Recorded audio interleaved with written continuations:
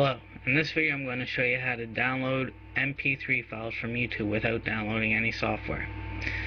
Since this is just going to be for demonstration purposes, I'm just going to take a video here off the main site, but it's the same for whatever video you want.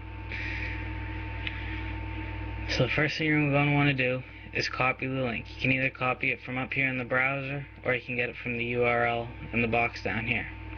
Then you're going to want to go to listentoyoutube.com and enter in the link. Close the ad and hit go. This could take a while depending on the size of the file that you've entered. But as you can see, mine's already ready.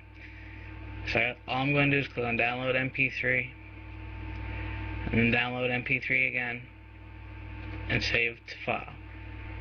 As you can see, the MP3 file is now downloaded to my computer and I can rename it to whatever I like. And that's all you have to do to download MP3 files from YouTube without any software.